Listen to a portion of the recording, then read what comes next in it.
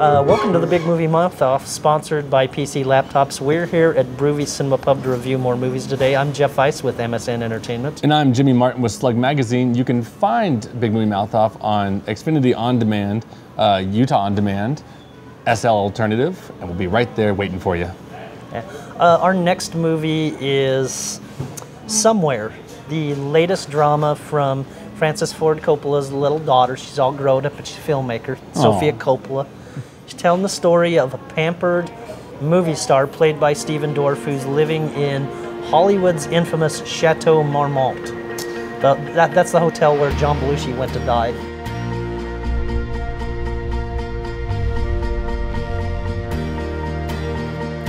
and uh, he's got a young daughter who he's been she's been forced on him. She's played by Elle Fanning, the little sister of Dakota Fanning, and they have a series of adventures.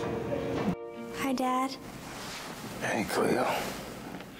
Can decisions shape your life? Well, you, you call them adventures, uh, and you call it a drama too. I, I, I call it a sleep aid, because this is by far the most boring movie I've seen in like six months. Like, and I mean, and not like, I mean, shot, you know, cinematography wise, you can sleep through the whole thing.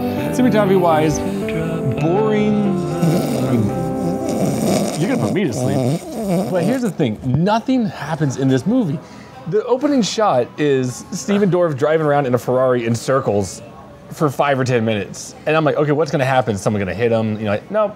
He just gets out of his car, looks around, and drives away Spoiler alert: the movie ends with him driving a car around. in circles. Yeah. Which is which is essentially what this boring film does. I'm gonna It- confess something so unprofessional. You fell asleep through it? No. Although talking about it really is putting me to sleep. Uh, they showed a trailer for somewhere before another film Oh, yes. at a public screening. Yes. And I made loud snoring noises in the middle think, of a theater. well, I don't think you're the only one. You may be the only one that admits it, but Yeah. every critic in there was doing it. I'm sorry. But here's the thing Lost in Translation, which was her film before this, Yeah. was about an actor. oh well, I, there's Marie Antoinette in between too. Oh, okay, my bad. Well, okay, let's say uh, last drama like this. Okay, so there's Right. Lost in Translation. Bill Murray played an actor who had had lived the life of an actor. Right. Had had you know, and he was done with it. You know, like that. And he just wanted to find compassion like that, which got Scarlett Johansson. Brilliant film. I loved it. He brought so much to that table.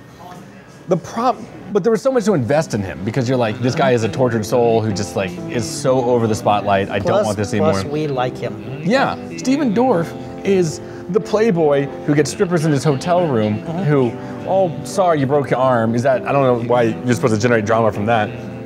Who treats his daughter like crap, and I, I don't get where I'm supposed to invest. It. It's like a really crappy episode of Entourage. But but they played Guitar Hero together. oh, cute. I mean, I nothing happens. Nothing. This is so good. Yeah, it's really good, Cleo. Mm, You got the sauce perfect. It's like not too heavy. it's almost like angry because like I think she thought she could play the same note. Because granted, in Lost in Translation, there's not a lot that happens, but it's the No. building of this relationship. Right. And so where Bill Murray and Scarlett Johansson hit it, Fanning and Dorff do not. Um, I'm making a list for the things I need for camp. I have tennis racket, tennis balls, bathing suit, shampoo and conditioner. Uh, They have no chemistry as father and daughter. No. What else? Sunglasses. And This will let you know how uninterested I was in Stephen Dorff's character. I started dwelling on his buddy character, played by Chris Pontius from the Jackass character. Bring your own soap so you don't get warts from the other kids. That always happens at camp. because he was a better and more interesting character Yeah. than this lumpy loaf on two feet. Ask your dad. At one point, he's doing the junket circuit with his co star in, in a film, played by Michelle Monaghan, who looks at him with withering glances. I understand why. Because the guy's a dick. I just I can't get involved in the movie or feel bad for somebody who's you know got women falling head over heels for him, who drives Ferraris, who's like that, and then he's like, feel bad for me, and I'm like, why? Because you're a crappy dad. You should feel bad because he's bored while strippers dance in his room. I know, and it's his birthday too. Poor guy. Sucks to be I'm, him. I'm sorry. I Coppola totally missed the mark on this one. It bored the ever living hell out of me, and I'm giving it one and a half stars. I think I'm going to agree with you Yeah. in that regard. You coming in? Yeah. I smell what you're cooking, and it is much more savory than this leaden snorefest. One and a half stars. I'll serve up a plate for two. Ugh.